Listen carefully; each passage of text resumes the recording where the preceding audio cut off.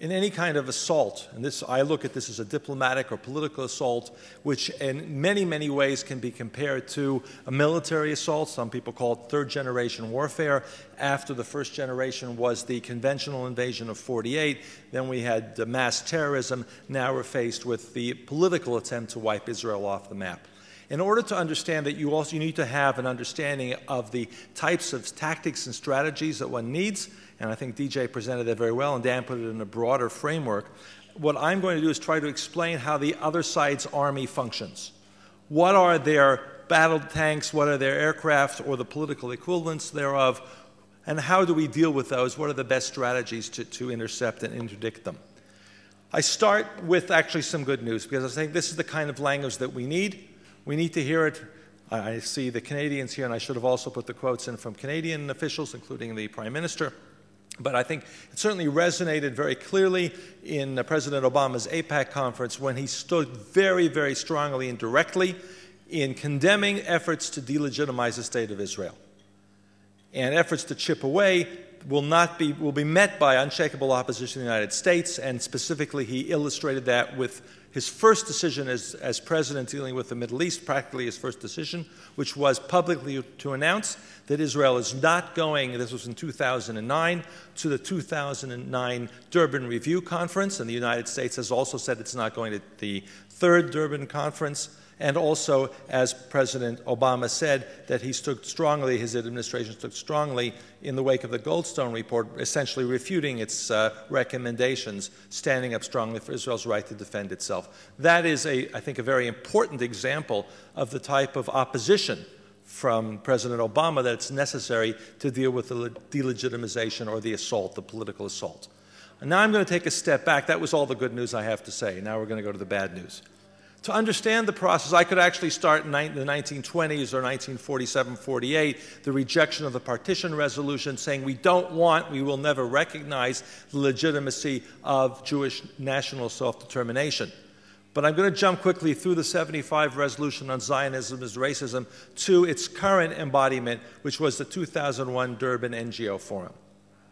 Irwin Cotler is here. There may be others who are representatives there. 1,500 NGOs, at least 5,000 delegates marching Zionism is racism, making that connection between Israel and, or trying to make that connection between Israel and apartheid South Africa. And the major thrust of their declaration, which was essentially written in Tehran, under UN auspices and what was called a, uh, a, a PrepCom, a preparatory conference that took place before. In just these three short paragraphs, you see how many times words like apartheid, racist, ethnic cleansing are used.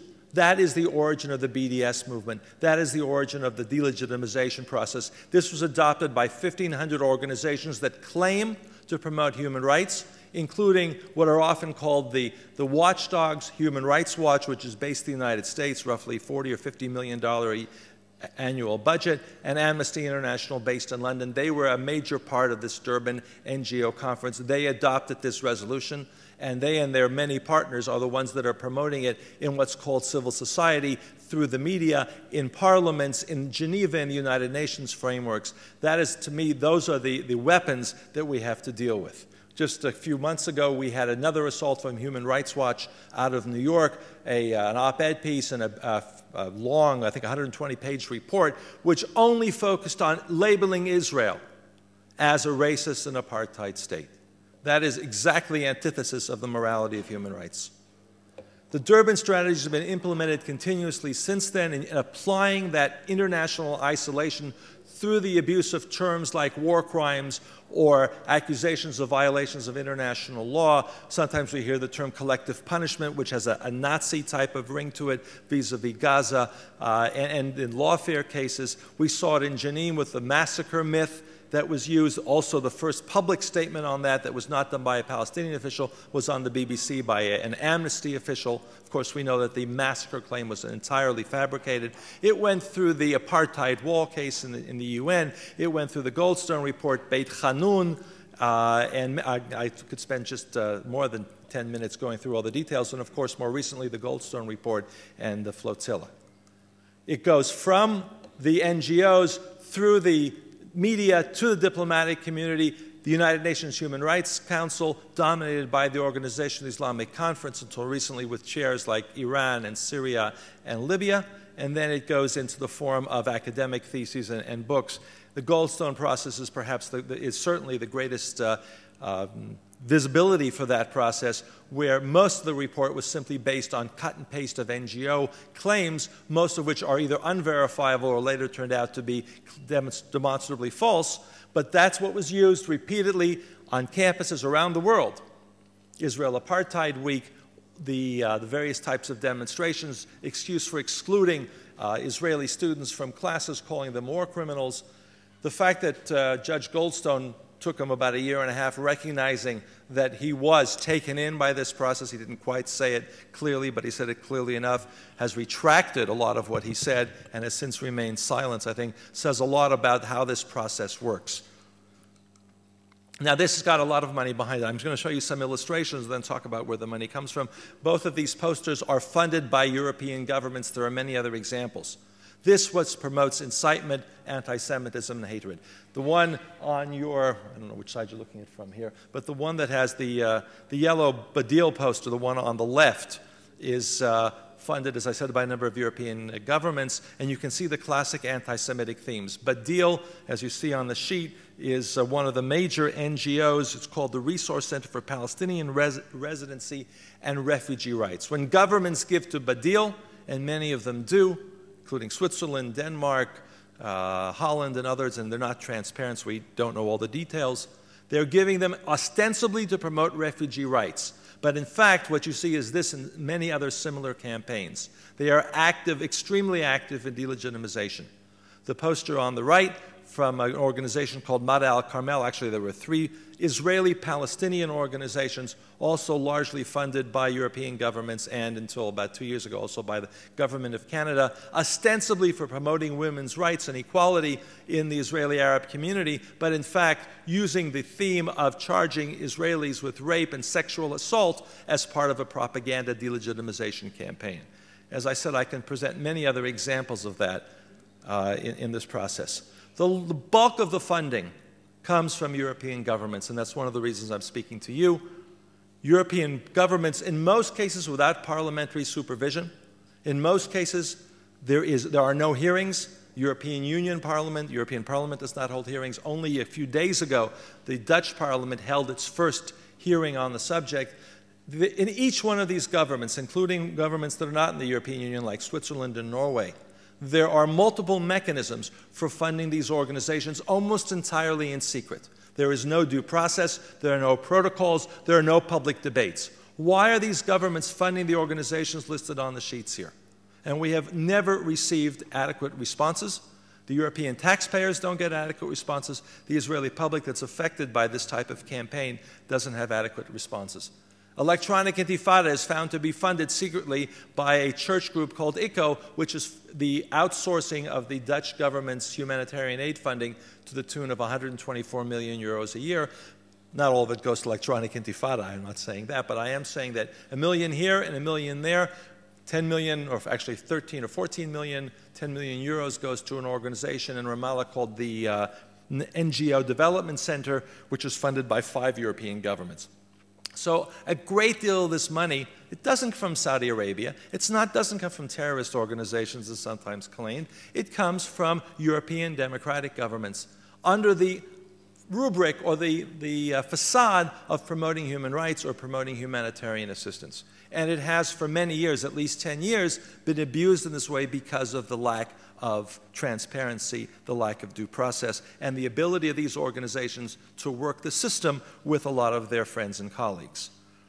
The flotilla, which I won't get into, is, a, is, another example where there are a number of the organizations actually are indirectly and in some cases directly funded through some of these European groups, including uh, what's called the Israel Committee Against House Demolitions. Jeff Halper, who's one of the spokespeople for the flotilla and is largely funded by a number of European governments for something entirely different. The posters speak for themselves. The goal is not to make Israel change its policies. It is not to end the occupation. It is to end Israel's colonization and system of apartheid, as was articulated by the main organization that promotes the, the, B, the uh, BDS process. And it is really, as I said, goes back to 1947. We don't want Israel here, under any circumstances, this is another form of warfare. In conclusion, there are a couple of points I want to make that I think are essential. And it, it, I think it reflects a lot of what we've heard from here and from others. We have to take back the vocabulary, the, the principles, the underlying moral themes of human rights, international law. The fact that none of these organizations have invested anything more than lip service in the case of Gilad Shalit is fundamentally immoral. Not only do government human rights frameworks ignore Gilad Shalit, but this entire international mechanism, Amnesty, Human Rights Watch, when they have put out an occasional statement, many of them for the first time just last week in five years, it's a fire and forget. They say, make a statement, there's no press conference, there's no follow up, and in many cases, there's not even a recommendation that he be freed or demand that he be freed immediately. So these organizations have largely dropped the ball because this is not on their agenda. They have been kidnapped or they have kidnapped hijack the human rights agenda for ideological political purposes. It's absolutely necessary to restore the moral foundations and universality to human rights, to follow the money where it is being diverted, and to raise those with the people, particularly government officials responsible for that. Naming and shaming is essential. Human Rights Watch, when its founder, Robert Bernstein, confronted with the evidence that we had put together, realized that the organization he had created, which was the number one organization to promote human rights in the world, was violating those principles.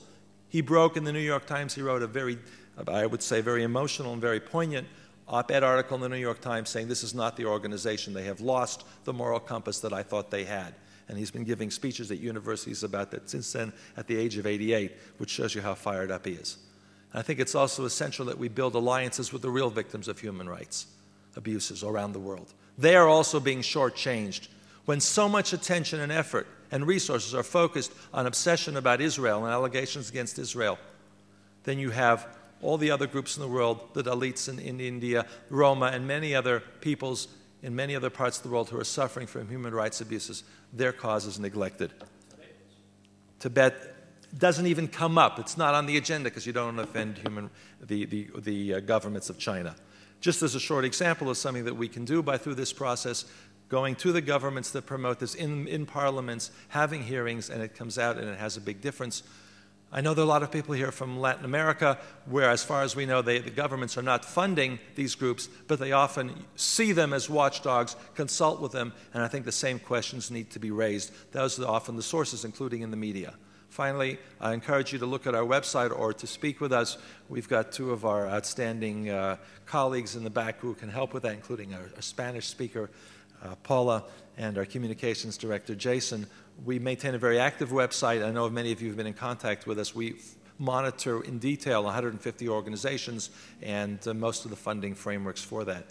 It's, it's, a very short process that I've had to, to be able to, to present this information. There's a lot more. I want to end with the point that was made about the battle of ideas. This is about a battle of ideas.